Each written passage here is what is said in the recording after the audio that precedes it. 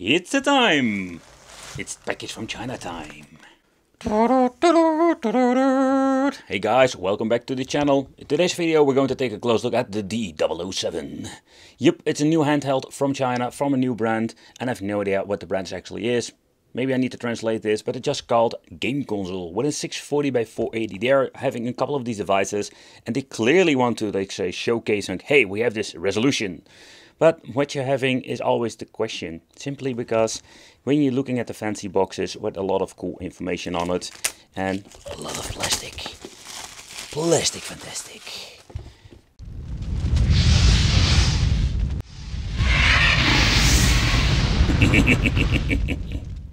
But one of the things I'm really looking forward to is how it actually will look and how will the overall experience be. Because that is always the mix or basically the gamble with these devices. Oh man, so so first of all, when you're looking at the bezel already, oh, this thing is absolutely huge. Let's give you a different look and that is always a little bit of a bummer by opinion. And Another thing you see a lot with these devices is that we're having a very cheap front glass or very thin material at least. Alright, so let's remove this, this piece of plastic and by pressing it you can maybe see it in the camera it's bending fairly easy. So need to be very careful, careful with that because it's going to be absolutely scratch sensitive. The form factor. I must say that I was quite surprised seeing this at first on the picture. Because I knew already it's going to be absolutely great. So, and I mean, particularly looking at the back part over here, the round shapes will give you absolutely way better comfortability than your typical handheld. So one of the configurations I love. The product parameters a 3.5 inch display with a resolution by 640 by 480 and then has an IPS. So that's kind of cool. So it's going to be absolutely a fantastic experience. The Rockchip is the 3326 running on 1.4 gigahertz with a Mali G31 MP2. This configuration we have seen it in Android boxes. The RAM is only 1 gigabyte. Oh, only oh, wait, sorry, is this? Oh yeah, that's really really confusing. I'm guessing they no no, there's one gigabyte of RAM and eight gigabyte of memory. Then we're having open source Linux system, I'm guessing EmuELEC or something like that. And then we're having a dual 3D stereo rocker. Yeah, rock your world. Mm. The D-pad is finally on the right place, especially when you play some old school games. And how it feels, I can tell you, it's absolutely not bad at all. Where it has a slight angle to it, the travel it's quite long, but not to a point that it's going to be annoying and also in combination when you're just moving around it feels nice. It doesn't have the cheap click to it and the resistance it's okay. I would love to see it a little bit let's say more like or less of a or less of a travel and less of a resistance but I'm very curious about this how it actually plays. It's kind of cool that they implemented two joystick at the bottom and in my opinion this is one of the best configurations. The joysticks have a very nice feature with some LEDs around them. When just going to be pressing them they will light up that's kind of cool. I love it.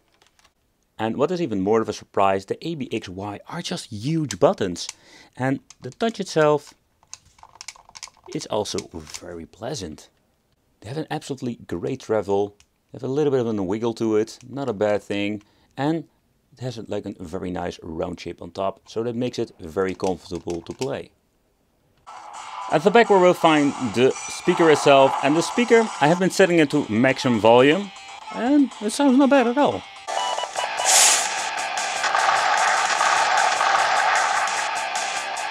Last but not least, we're going to get three function buttons in the middle.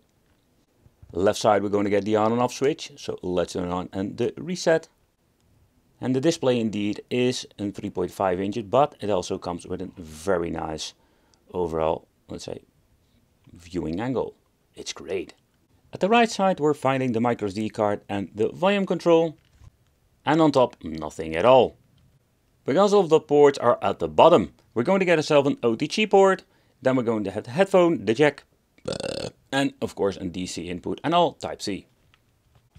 It takes quite a long time to actually boot up, but it will not boot up in your typical EmuELEC software. No, not at all. But it looks similar. In the main menu, here we find all kinds of different emulators. Sony PlayStation 4 and the 64. I will mainly focus on, like I said, the high-end system just to see how it actually runs. But I can tell you, the old school stuff runs just fine on the device like this with the Rockchip. But the overall menu, this is made for people who don't want to tinker and mess around with all kinds of settings. For example, pressing start, here we're having the language, battery 95%, volume control. You can also change the volume here, of course, at the side, and showcases how it will look because in the backend it runs on Android. Brightness can be adjusted over here and I can tell you it is really bright. And then we're having the date key settings. Oh crap, oh, I completely messed that part up. Let's go back again. What I wanted to say is key settings and here you can eh, basically check it all out. And what's kind of cool, you can just see it now that the light up feature of the both joysticks will light up actually when you're using them. That's kind of cool. But you can check all of the buttons if you want to. It's got this very annoying tune to it. Another thing I do notice, and that is kind of cool to mention, so when you're checking out the back buttons, they are all micro switched. And micro switch is not a bad thing, don't get me wrong. But the way how they implemented the buttons, you can see it when trying to record it. There is a slightly different angle and that is convenient. So if you're going to be holding it, oh, don't get, me wrong, I still hate it because it's quite difficult. So the R2 and the L2 are very, let's say, easy to touch and to navigate to. But if you want to press the L and the R, because it's basically on the middle part of your finger, you want to make this movement it is possible, but you need to force your hands in certain ways. So I am not a big fan of these back buttons, but yeah, but they, there's almost no way to put more buttons on here or having six button configuration, make it wider and put just two at the back because the R2 and L2 with my fingertips can be touched fairly easy. Another option we don't see with every single device, oh crap, that's not what I wanted to say, pressing the Y button here we do have an option to search. And uh, by the way, I have no idea how to get rid of that sound at the moment. moment. Alright, so let's choose Sonic, choose for the game, and here we'll find all of the games. And some have even a short video, that's kind of cool to be honest. It's a very short video sometimes, like a couple of seconds. Here we're having Sonic 3 and Knuckles. Yeah, that's the only thing that it does. But also the source function works pretty damn well. So the overall, let's say overall performance of this, it's kind of cool. So let's see if we're going to booting up a game. And let's take a close look at, let's say, the menu. Some of the games need a couple of seconds to loading and decrypting, but that's it. But pressing the escape button in the middle of here will bring you to this special menu where we can make a quick load, quick save. There is no screenshot, let's say, showing you what kind of party and game you were. So a little bit of bummer. And here we're like quick load, quick save. And we can mess around with the joystick keys if you want to. There is only one thing I found quite annoying when it comes to the display itself. This thing has a shitload of back bleeding or there is something wrong with my LCD. Because here you can see in the middle, it does have a problem.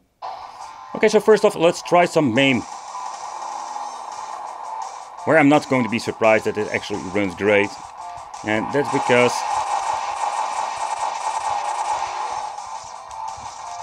these Rockchip devices can be used without any problem. Which does old school stuff. The D-pad, I'm quite surprised. It works very well. Let's move to the analog stick. Next up, let's some 8-bit. This is a game that I've played so much as a child. It's so much fun. And how many different like Bombermans we're having nowadays is absolutely crazy. And I can't get enough of Bomberman.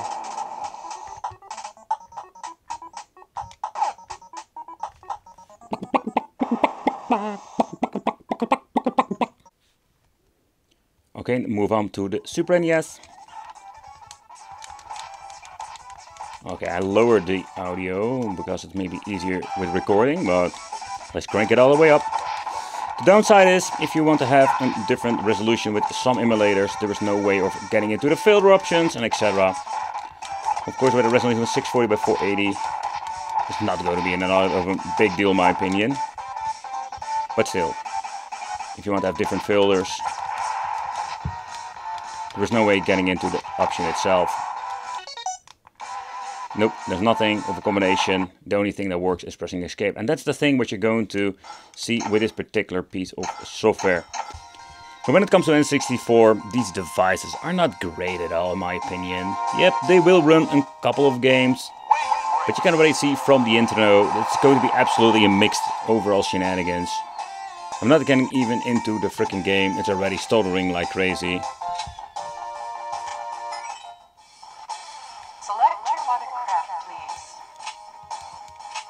So with N64 we're not there yet. It's interesting to see that we're having budget devices now with N64, where back in the day we had quite expensive devices that only had the option to run it, but that's cool. Let's get into the gameplay. And take note, if you're going to get more demanding game, F-Zero, GoldenEye, those games will not run at all. We're having like 5 FPS per second. Getting into the game, a slightly overall better performance. In my opinion, still playable.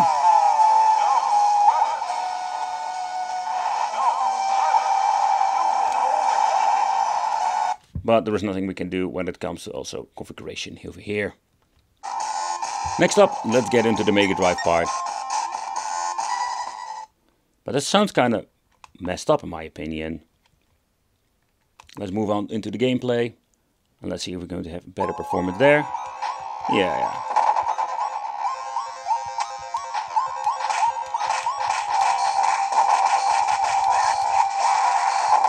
Well, I do have the feeling that they are running on a PAL game system.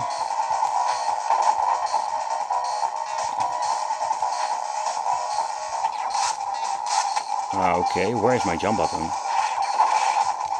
It's not there. Oh, they moved it to the back buttons. Oh, that's quite annoying, to be honest. Let's see if we can change that out. Um, ah, here we go.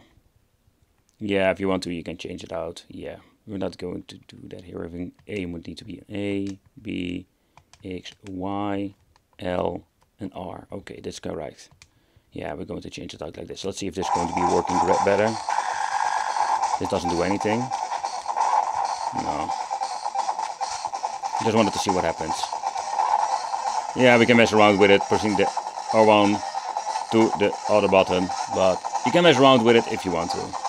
Let's move into the PlayStation now, because I'm really curious if we do have overall good performance. Take note that this is just running on native resolution, and there is no upscaling option even possible. Alright, so the next thing I need to do is lower my Yep, let's lower my studio lights so we're going to get a little bit better visual. I must say that I find really annoyed by the back bleeding over here. In my opinion, there is always something that you just need to mess up, and even as a quality issue, it's such a bummer, because when it comes to the overall performance of the system, I'm quite surprised. I'm getting my ass kicked by me now, what's going on here? Oh. And they love to add PlayStation Portable to these devices. And there's also no option, so far I can see getting into the PPSSPP later.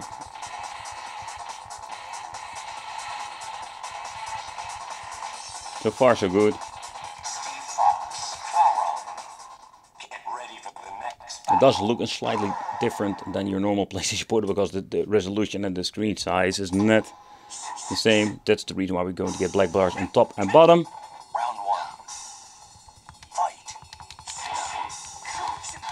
But I can tell you, this product like this is not 100% compatible with PlayStation Portable, but we do got some good performance with Tekken 5.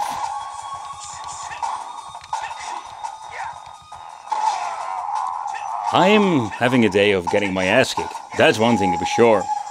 So what is interesting with the Game Boy, they implemented a filter. I can just see it is less pixelated. And I must say that is not, not a bad thing. That looks kind of nice, but that is something, of course, personal.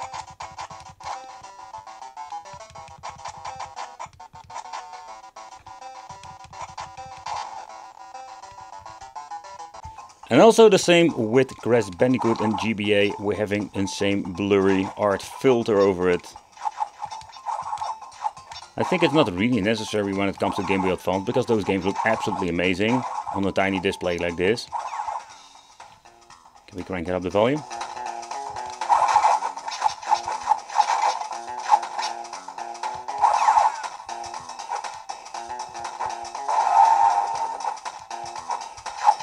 But so far so good. But I wanted to also check out the D-pad quality. I can tell you this game looks really great on this display. Yeah, absolutely great. So the D-pad not also feels great for shooting games and fighting games. It's great when it comes to fighting games. So let's see if we can do the super move. Yep. Absolutely great. So when it comes to the overall performance for the D-pad and the fighting, this is just a great combination. The construction of this device when it comes for opening up is slightly different. Within other models from the same brand has the option just to remove the parkers and just open it up. This thing is clicked together to a certain point. The top part is open, so that's not going to be any problem whatsoever. But okay, so it's absolutely one nasty situation where the other ones were very easy to open up. So we need some prior tools. Also, I don't know what's going on with the screws itself, but they don't want to get out of the freaking plastic. So what you need to do with this particular model, be very careful, get the right prior tools so we can remove these pieces of plastic. They're very hard plastic, so they can break fairly easy, where the outer shell of this thing is made out of very flex flexible plastic. Okay, so the holes are quite deep, so we need to stick in the other screwdriver because the other Oh man, yeah, I need to find the right screwdriver for this. My or is my tool? No, it's possible. No, no, no. I need to pry a little bit more. We need to just jank this thing in. There we go. Screw number number five, and then we're going to have screw number six. Oh boy, I can tell you, it's a tight one. But we're going to get it out. All right and then we're going to be very careful opening it up so I'll give you a look in the inside oh man so it's going to be absolutely shenanigans opening this thing up. There we go. So one of the positive things about this particular product that we do have we have like removable plugs. So I'm very happy with this. Okay next up can we remove the battery or is this glued to the system? No. It's basically glued in the inside over here. Double-sided tape, I'm guessing. I'm not going to be prying or messing around with it. But that's one of the reasons that they also give this thing some, say, different kind of size measurements. So where this thing is very comfortable to hold two of these very nice grips at the back. It is all, of course, in great position to get a very big, or big, to get at least a decent lithium battery. But always be very careful with these things. If you need to replace them, you need to check on AliExpress. There is a code on these batteries with how many amps and what kind of connection. And of course, these are a couple of different plugs over there, but you can just order them and replace them. And the speaker is going to be slightly difficult, I think, to find, but also this can be replaced.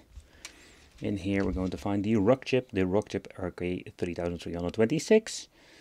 And at the back, we're going to get micro switches because the pieces of plastic are directly attached to the micro switches there's nothing between it. But that's basically how what we're going to have in the inside. Oh here it is interesting. So this thing is also called the YX08 game.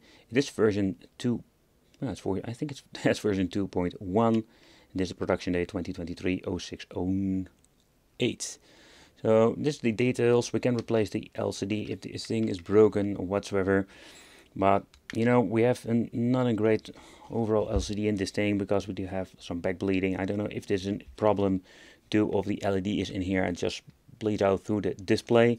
This is just a general problem at all. So that is of course a question but that's also kind of cool. So the, both of the joysticks I think they can also be replaced. You're having the connections over here. So if you need to do some maintenance it's not going to be too hard but it is quite difficult to open up. That is one thing to be sure about because that is absolutely an absolutely a horrible nightmare. The D007 Plus Edition, it's kind of interesting piece of tech if you may ask me. Runs on Android, has a very nice interface, has a lot of games that we can actually play with it with this Rockchip, but when you're looking at the competition, there are way better options out there. Thank you all for watching, consider subscribing, let me know what you think of the D007, and it would be great to see you in the next video.